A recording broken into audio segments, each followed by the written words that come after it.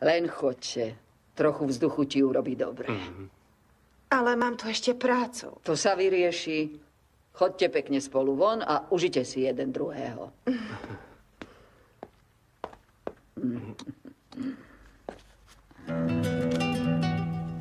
Ale pani matka... Pozvi manželku na niečo dobré.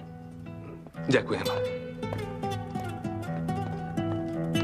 Á, manželia idú spolu von?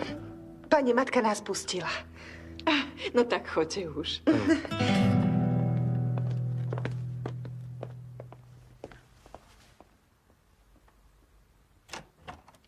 Kto príde na miesto Enda?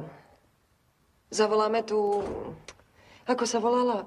Tá, čo sa starala o dom na dedine. Nurčihan? A, Nurčihan. Bolo to celkom šikovné dievča. Dobre. Zajtra tam zavoláme. Podľa mňa by mala prísť hneď. Kým Enda odíde, nech sa stihne niečo naučiť.